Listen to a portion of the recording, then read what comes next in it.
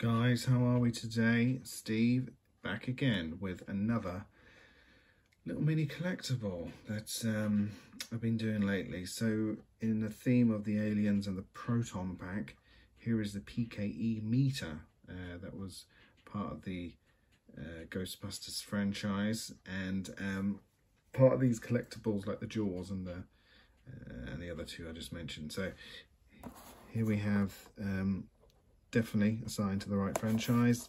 The original Boys Ghostbusters.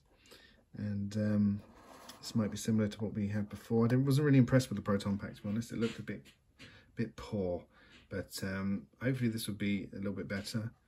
And uh, as I said before, they're not that expensive. So um, it's nice if they do come out. Like the Xenomorph was really good. And the Jaws, I really like that too.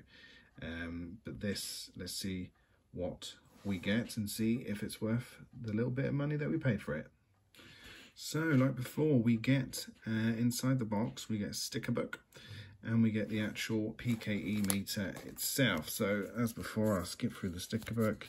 Um, so different kind of style of stickers that we had before. They're a bit dark, a little bit retro. Um, yeah, very retro. And I like that. Yeah, this is more probably aimed at the movie than the other book um, with the Proton Pack. But these stickers I probably would use somewhere. then we have the PKE meter. So the side is where the little uh, ears, metal ears come up. We have the front with the display. Been interesting to see if that does anything. Um, and then the back obviously the batteries have now been activated. So okay so I'll start it. That's cool. So it's like a sticker but then it has a light under it and then shines through. We have the three uh, lights underneath it. Push it again so the green light seems to light up more. And then push again and it goes off. Now there is a back button that you push and the uh, the metal ears pop up. So Let's try that again. So press the front, and then I'm going to push the back, and that pops up. And then you see the lights to the left and the right side, and the thing goes a bit more mental as that comes out to indicate there is a ghost nearby, and it slows down a bit. So there is uh, different versions of speed once the sides uh, pop open. So if I push the front again, it will go off, and I push it again,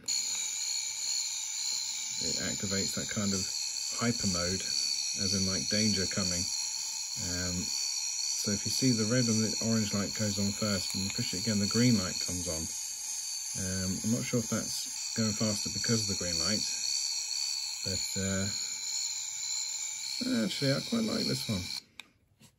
So they both go down at the same time when you push them and they lock down like that. Now one thing I will say is at the back, I had to push that three or four times to get activated. So you, so it doesn't activate when you push it. Uh, the front button needs to be on to do something. So I guess if you uh, wanted to show people, you start off with the front going, oh look, no ghosts, no ghosts. And then you activate it by pushing back button and then off it pops. And then it starts to activate a little bit more, a bit more animated.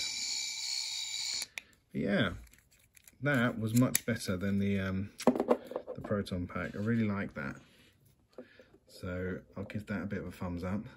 But let me know what you think of these little collectibles because always interested in hearing what you have to say. So keep on liking, keep subscribing, um, and I will be back soon with lots more. Take care. Bye-bye.